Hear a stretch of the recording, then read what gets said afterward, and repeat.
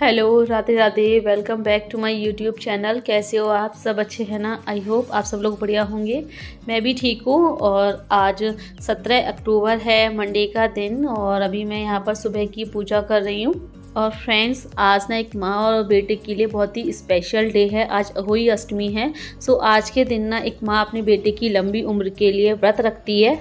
और मैंने भी रखा है। आप में से भी बहुत सी महिलाओं ने रखा होगा। आज के दिन फास्ट।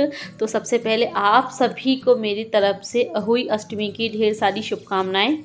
और आज का ये अहुई अष्टमी का व्रत ना सेम वैसे ही होता है, जैसे करवा चौथ का व्रत होता है। तो अभी मैं पूजा कर लूँ, फिर उसके बाद किचन में खाने पीने की तैयारी करनी है।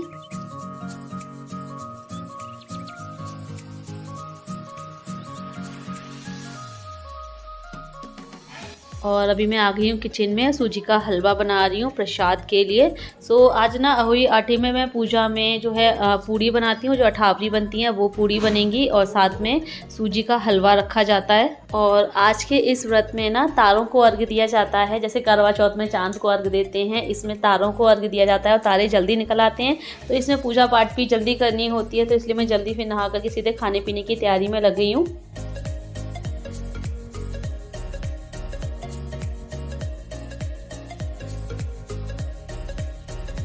और सब्ज़ी में मैं सिंपल गोभी आलू की सब्ज़ी बना रही हूँ क्योंकि मम्मी जी, पापा जी को पूड़ी के साथ बहुत पसंद है। और ये सब्ज़ी मैं बिना लहसुन, प्याज के बना रही हूँ। और ये सब्ज़ी मैं लोहे की कढ़ाई में बना रही हूँ, क्योंकि लोहे की कढ़ाई में आप कोई भी सब्ज़ी बनाओ ना, बहुत टेस्टी बनती है।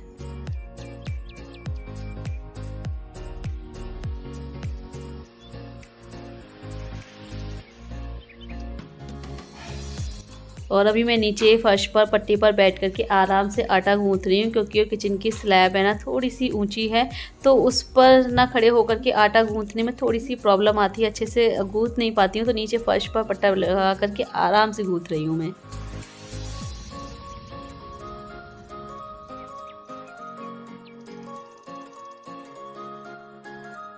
और अभी मैं पूजा के लिए आठ पूड़ियाँ निकाल ले रही हूँ, जिन्हें अठावरी कहते हैं। बाकी की पूड़ियाँ पूजा करने के बाद निकालूँगी, क्योंकि अभी किसी को खाना खाना तो है नहीं है। और अभी निकाल करके रख दूँ, पूड़ियाँ बना करके रख दूँ तो सब ठंडी होकर के बेकार हो जाएँगी। इसलिए पूजा करने के बाद तभी गर्म गर्म निकाल लूँगी।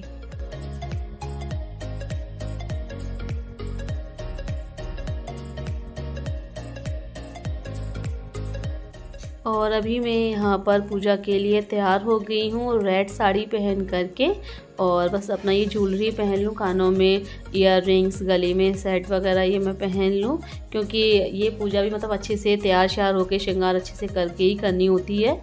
और आज घर में बहुत बड़ी टेंशन हो गई है। सो इसलिए आज मैं ज़्यादा अच्छे से तैयार नहीं हुई हूँ, जैसे कि करवा चौथ पे तैयार हुई थी। बस करवा चौथ पे आई लाइनर लगा के मेकअप वगैरह करके, बहुत जूड़ा वगैरह लगा के बहुत अच्छे से तैयार हुई थी, लेकिन आज बिल्कुल भी तैयार होने का मन नहीं कर रहा था। घर में इतनी बड़ी बात जो हो गई है। सो बस ऐसी सिंपल सा, हल्का सा, बस बिंदी लिपस्टिक लगा करके, थोड़ी बहुत जो जूली पहनी हुई थी, वो सब पहन करके तैयार हो गई हूँ और बस यहाँ पर पूजा की थाली लगा ले रही हूँ।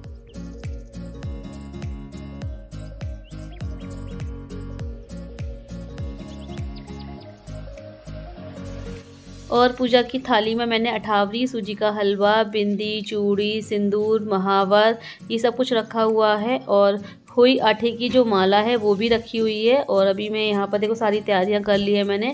चौक पूर करके, चौकी लगा करके, कपड़ा बिछा करके अभी ये कैलेंडर लगा रही हूँ होई आटे का।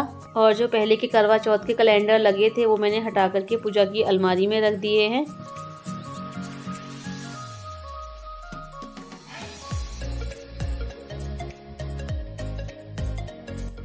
और अभी मैं पैरों में महावर लगा ले रही हूँ और मम्मी जी, पापा जी में से कोई भी घर पर नहीं है। सभी हॉस्पिटल गए हुए हैं और क्यों गए हैं, ये भी मैं आप लोगों को बताऊँगी। और फ़िलहाल मैं पूजा कर लूँ अपनी, अभी तांशु को भी रेडी करना है।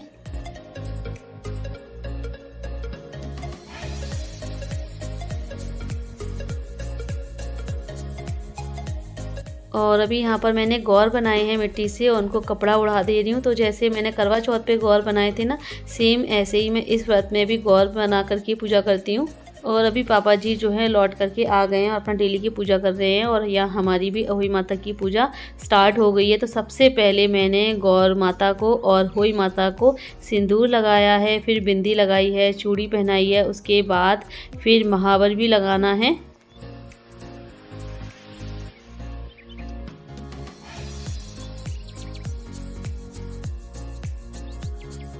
और ये मैंने ना दो लोटे भर रखे हैं जल से और दोनों को मैंने जो दोनों पे सातियाँ बनाया है और ये कलावा बाँध दे रही हूँ। तो एक लोटे का जल से ना तो तारों को अर्घ दिया जाएगा और जो दूसरे लोटे का जल है वो दीपावली तक ऐसे ही रखा रहेगा ढक करके और दीपावली वाले दिन तांशु उस जल से स्नान करेगा।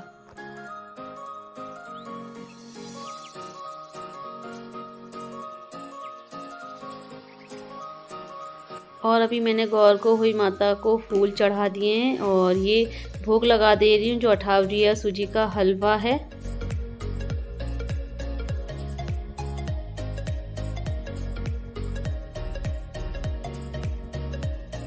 और ये मेरी हुई माता की माला है, जिसमें ना स्याऊ माता का लॉकेट पड़ा हुआ है और उसमें दो मोती पड़े हुए हैं तो और तीसरा मोती मैंने इस साल डलवाया है। और इस माला को ना कथा सुनने से पहले पूज करके फिर जो है अपने गले में डाला जाता है। तो ये माला मैंने पूज ली थी, फिर अभी अपने गले में पहन लिया है और अब मैं जो है कहानी पढ़ ले रही हूँ, जो कथा है, होई माता की, वो पढ़ ले रही हूँ।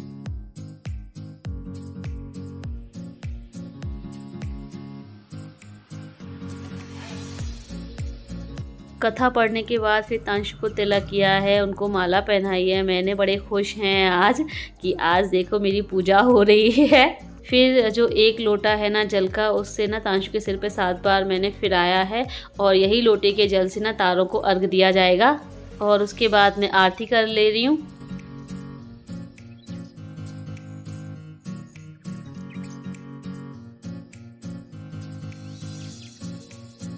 और बस पूजा हो गई है और एक बार फिर से गौर माता को सिंदूर लगा दे रही हूँ और दूसरे हाथ से उनसे, उनकी मांग से सिंदूर लेकर के अपनी मांग में सजा दे रही हूँ और फिर जो है उनको दोबारा सिंदूर लगा दे रही हूँ। तो इस तरीके से ना गौर से सिंदूर लेकर के अपनी मांग में सजाया जाता है जब भी आप पूजा करो।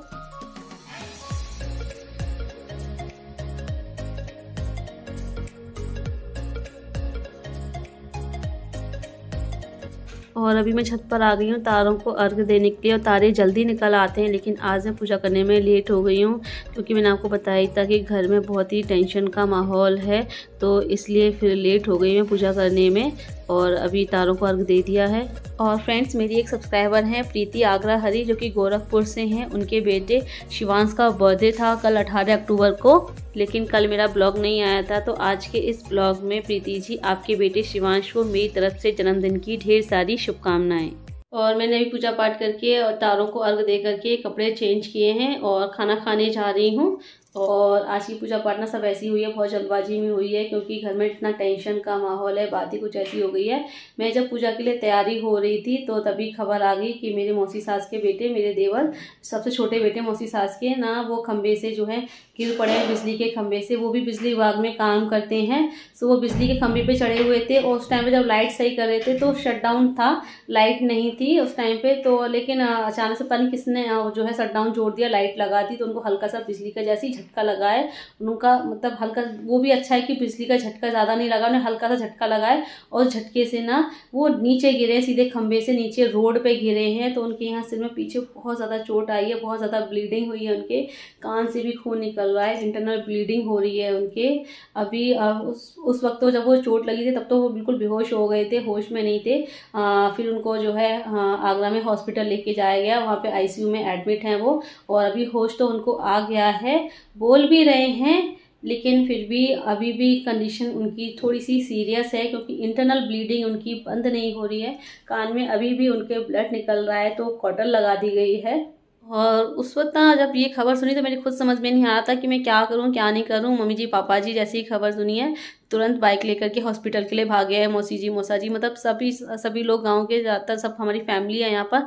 सब लोग जो है सीधे हॉस्पिटल भागे हैं। देवर मेरे और जो देवर जेठ हैं, सभी जो है सीधे हॉस्पिटल भागे हैं और बस अभी थोड़ी देर पहले ही हॉस्पिटल से आए हैं। जब वो भूला भैया, मेरे देवर, होश में आ गए तभी वो हॉस्पिटल से लौट करके आए हैं और अभी रात में वहाँ पर मौसी जी रुकी हुई हैं और उनका एक बेटा भी रुका हुआ है वहाँ पर। अब सुबह की कंडीशन क्या होती है तभी पता चलेगा। आप लोग प्लीज़ भगवान से प्रार्थना कीजिए कि वो जल्दी से ठीक हो जाएँ और दीपावली का त्यौहार वो हमारे साथ यहाँ घर पर मनाएँ, लौट करके आके। प्लीज़